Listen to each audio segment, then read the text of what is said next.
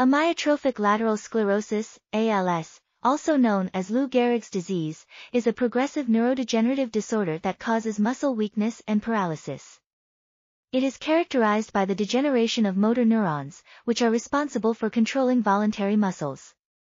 Research from the last few decades has revealed that ALS is not just a disease of the motor neurons, but also one involving systemic metabolic dysfunction. This review will discuss the foundational research on understanding metabolic dysfunction in ALS and summarize past and current studies on ALS patients and animal models, ranging from entire systems to individual organs such as the liver, pancreas, and hypothalamus.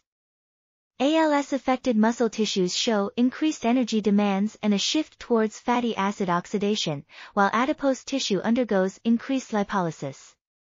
Additionally, the liver and pancreas display impairments in glucose homeostasis and insulin secretion, while the hypothalamus shows atrophy associated with pathologically accumulated TDP-43. This article was authored by Katarina Maksimovic, Mohieldin Youssef, Justin You, and others. We are RTCL.TV, links in the description below.